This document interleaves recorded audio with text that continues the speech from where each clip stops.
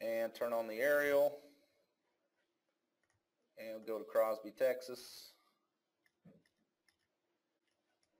and find that fence on here. It's right here. There we go.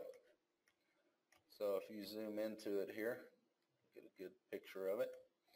All right, so again, what I, what I was explaining to you just now is what I did, you know, previously was take this whole post and capture it and not this post because it's supposed to, you know, put it, you know, by intervals down the line. Well, for some reason it would show it this way, but when it was duplicated on the other side of the fence, it would offset it and start here. So I would have, you know, duplicated posts.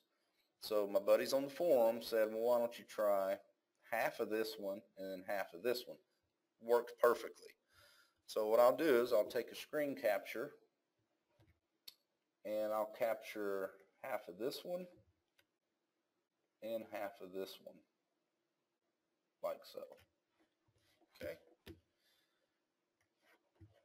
So I'll just save that image. I'll save it to the desktop, call it fence. Alright, so once I have that, Autodesk has a free utility that's web-based and it's called Pixlr. I don't know if you've ever used it or not, but it's extremely useful.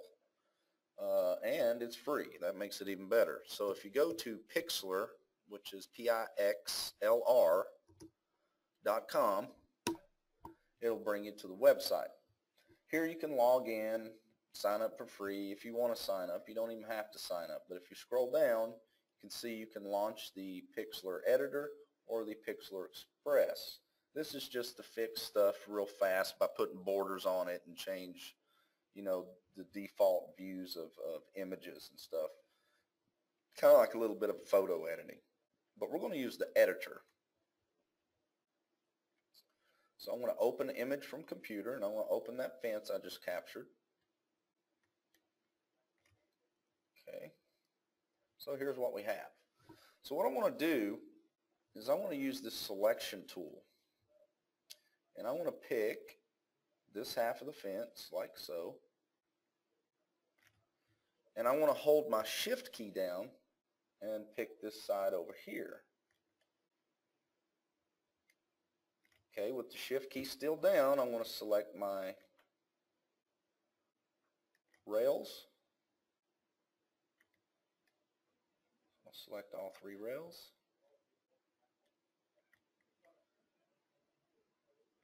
Like so. Okay, once I have them selected, I want to come up here and create a new layer.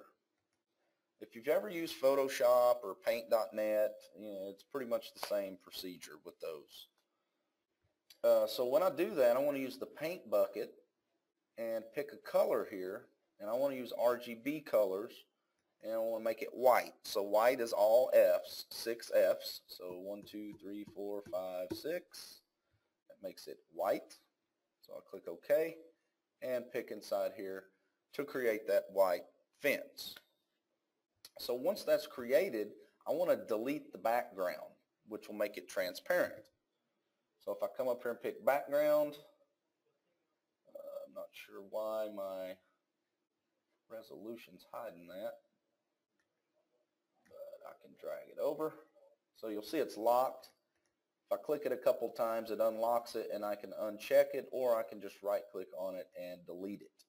So there that makes this area transparent. So once I have that, I want to come up to File, Save, and you'll want to save this as a PNG, which is a, uh, a transparent file. I even pick it, save. There we go. So PNG, and it'll tell you it's transparent and full quality. And I want to save it to my computer, so if I click OK, I'll save that to my desktop, and I'll just call it Fence Trans, for transparent. So now we have our, our fence. So now if we go back over into InfraWorks, we're going to pick the eye and the cube and we want to open up the style palette. Once the style palette's open, we need to create a new material. But first off, I'm just going to go ahead and throw a barrier down here to show you how this is going to work.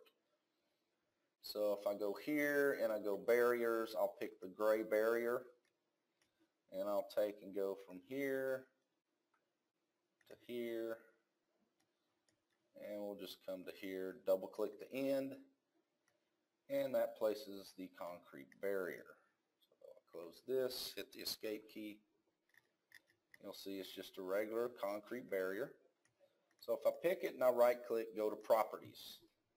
I want to make the height of this, uh, we'll say five feet. Say it's a five foot fence. If I hit update, now it's five feet. Okay. So now I can go into the material tab, which is here. And under fences and barriers, I want to create a new material using that image. So if I hit the plus symbol, here you can see I can assign a color or a texture. So if I click texture and click the ellipsis, I want to browse to that transparent fence. So I'm going to open that and it says the texture was added to the internal model resources for quicker retrieval. So we'll click OK and click OK. We'll give it a name, white fence.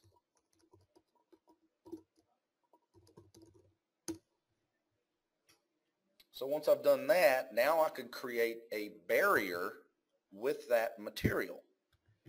So I'm going to come back up to barrier. I want to click the add button. So here I want the length to be 8 feet. I want the height to be 5 feet. The thickness will make 6 inches, so 0.5. And spacing I'll make that the same as the length, 8 feet. Now I'm going to go ahead and click OK because I forgot to do something in my material. Then we'll fix this here in a second. Go ahead and call it white fence.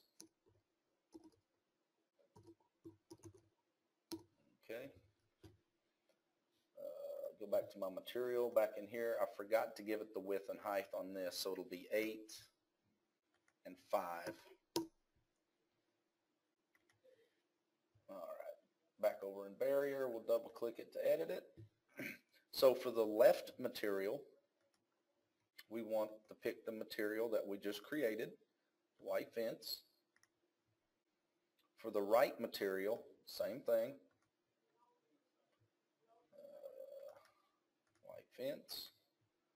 For the top material, we want that white. For the begin and end material, we also want it white.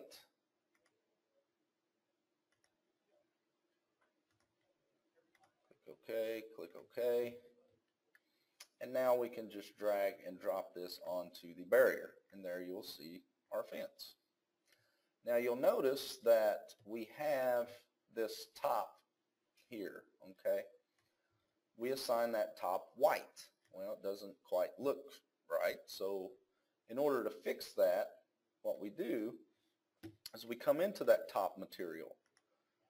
And it's white, of course. There's the color white. The alpha channel is another fancy term for transparency. So I want to change my alpha channel to zero. Click OK, click OK, and it updates my fence. And you can fix this here by dragging your grips and stuff because the way it kind of duplicated that fence post. But you'll see there's kind of that uh, offset that I was talking about earlier. But you can see these came out okay.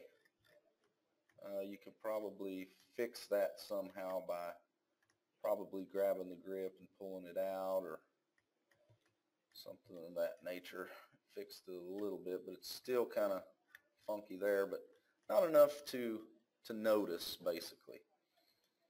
So that's that's how you create a transparent fence material.